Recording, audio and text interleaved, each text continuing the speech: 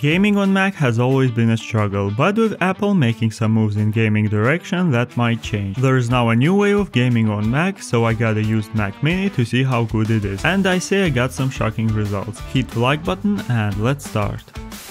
What I have here is the cheapest Mac mini from 2020 with an M1 chip and 8GB of RAM. You can get it for under $400 used and I would say it's a pretty nice value. In 2020 Apple started making Mac minis unupgradable so there is no point in getting inside. At Macs you can remove the bottom cover and wipe the dust from the cooling openings. That's where the intake is so it's good to do this once in a while. Let's power it up. It started with no problems and after a quick setup I'm in the system. I saw the software update available, which is the new macOS Sequoia, so I upgraded right away. The new system promises to be more optimized for gaming, which is great. You can even see the new Frostpunk game in the pictures. So after all the updates are done, let's try the first way of gaming, which is just trying out games that support macOS. I installed Steam for Mac, there is a Mac version, and in Steam you have an Apple logo over the button if the game is available for Mac. Alternatively, you can even get some games right from the App Store, which is nice. Speaking of game game library, I say there are some popular and good games available for Mac, but compared to Windows it's still a small fraction. Anyway, I downloaded several games, so let's see how they perform. In the recently released Frostpunk 2 with textures on high and everything else on low settings, in 1080p I got pretty much playable 50 plus FPS. Overall the game feels very playable. By the way, check out the FPS counter. We can finally easily track performance on Mac. You can enable it with the command in the terminal. Moving on to some something even more demanding in the Resident Evil Village with the auto set low medium settings, in native 1080p I got stable 40 to 45 FPS. It's surprising how good the game is ported and shows the potential of the M1 chip. I then enabled the Metal FX, which is Apple's upscaling tech kinda like DLSS and FSR. And with the quality mode I got 60 plus FPS most of the time. The image quality is still pretty good and the game feels a lot smoother. Let's test some more games. In Valve Valheim I played with the settings a bit and the best result I got is around 50 FPS with the native 1080p resolution, anti-aliasing and the rest on low. The game runs pretty smooth and with a good image quality. In Stray with the low settings 1080p our Mac mini gets a stable 30 to 40 FPS range most of the time. So overall I can't say anything bad about the gaming experience. All the games are running with playable FPS and looking pretty good. But of course you are limited to the games that support Mac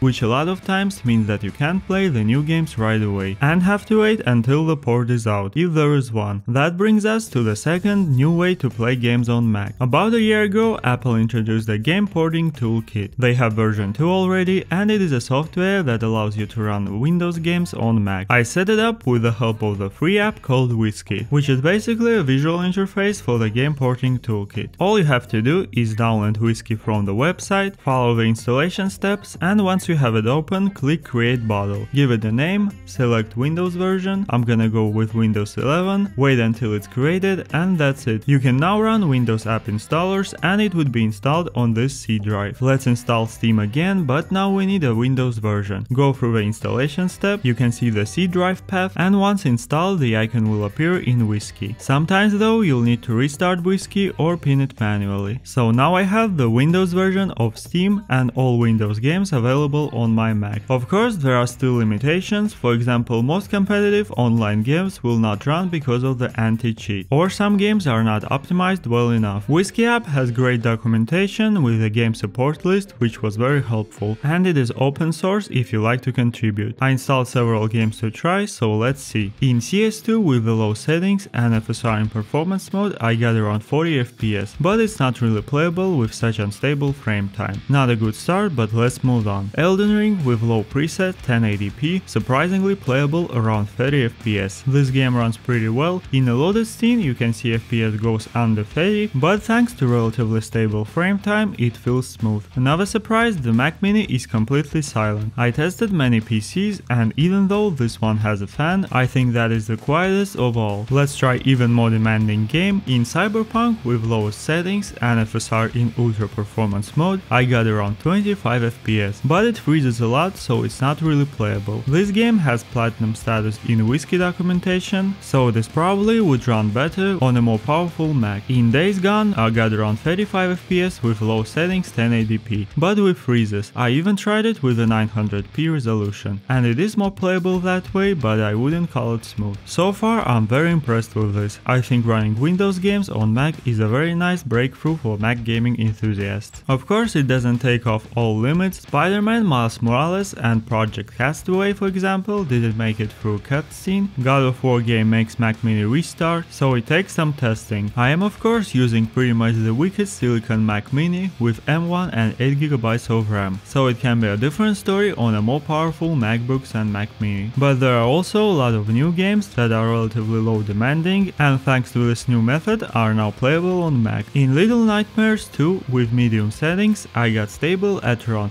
55 FPS. The game feels pretty good and responsive. Supermarket Simulator runs with 100 plus FPS on high settings. Checking some new games in Zoochosis with low preset and DLSS in balanced mode I got 60 FPS. And Squirrel with the gun on low settings 1080p runs at around 65 FPS with some raises even to 80 sometimes. So even with the budget Mac Mini M1 you can get your hands on some new games. Besides the Whisky app there is also a crossover app that has been around for a long time already. This one is not free, you can see the pricing on your screen, but there is a free 14 days trial version available which I tested to see if it's any better. The steps are very similar, click try now, it asks for your name and email and after that the download starts. Then unzip the file, go to downloads and move crossover app to the applications folder. In the crossover app I click install Steam and it created Windows 10 bottle automatically and install it on a C drive. You can see the crossover and Whisky has a similar interface, but the crossover app seems more advanced. There are different settings. Crossover supports the game porting toolkit as well, you can see it toggled right now, but it also has its own compatibility layer called DXVK, which might be better in some cases. There's also a settings for controller, ethernet and it even has a task manager. That design brings some memories. So I installed a couple of games with crossover and ran them in different modes. In Elden Ring with low preset 1080p, crossover performs very similarly to the Whisky app, with Whisky getting a bit more FPS and slightly better frame time. In Little Nightmares 2 with high preset, very similar situation. The game started with DXVK mode, but it is unstable, often goes to the black screen. In Deep Rock Galactic I got the same placement, this game runs in all modes, DXVK mode is the most laggy one here, the D3DMetal works well, but you can see the Whisky app has a more stable frame time graph with a bit more FPS. From my quick testing in a couple of games, I got the best results with the Whisky app, so I will call it a winner here. But it's all trial and error, and in some cases maybe crossover will be a better choice. I think if you are using a macOS right now, it is definitely worth trying it out. The setup steps are fairly easy, and I think in many cases you will get your playable FPS. Let me know what you think about it, I'll leave all useful links in the description, and I'll see you in the next video.